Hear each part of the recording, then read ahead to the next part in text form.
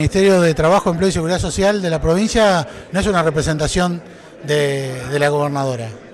Es un ámbito, yo creo que eh, esto, esto que, ha sucedido en los últimos años, de protestar en el ministerio porque el ministro daba las respuestas de, parte de la gobernadora, es lo que ha contribuido también a romper un poco la paz social, ya que hemos dejado a los trabajadores eh, sin un ámbito donde buscar este, esto que yo te digo, el diálogo, el consejo, el consenso y que se los atienda.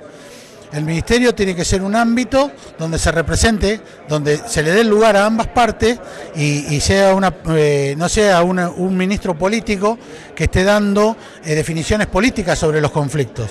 Ese, el ministro se tiene que abstener, tiene que dar definiciones administrativas de los conflictos, porque él tiene que buscar el consenso y el diálogo y, y, y, de, y después, en definitiva, es el que resuelve. ¿no?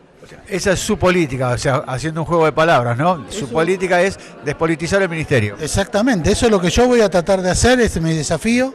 Ya se lo he transmitido a secretario, a subsecretario, a, a- a los directores. Eh, tienen que tener eh, un director de, trabajo, tiene que tener la jerarquía, la profesionalidad y, merecerse el respeto que hasta ahora habían perdido. Yo creo que la consigna de, la gobernadora es tener un diálogo permanente con todos, no romper el diálogo nunca porque eh, ella lucha por, por, por- y brega por la paz social, lo dijo en la campaña, lo dijo después que ganó las elecciones y lo quiere implementar ahora, ¿no? Entonces ya no tiene problema en atender a quien sea, siempre que su tiempo lo disponga, y si no serán sus ministros.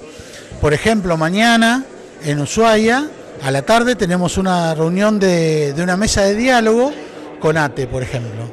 ¿no? Ella les ha ofrecido a ATE, fuera de los ámbitos de paritarias y demás, tener mesas de diálogo, donde van los ministros, donde me encargó a mí la coordinación de la misma, como una especie de, una persona que va a escuchar a las dos partes y después va a consensuar con ella, este, y yo creo que eso es muy positivo. Es una idea muy buena que ha tenido Rosana, porque hay cosas que se pueden hablar en paritaria y no se pueden hablar en paritaria y las vamos a hablar en esa mesa de diálogo. Todo sindicato que quiera tener una mesa de diálogo no tiene más que solicitarlo.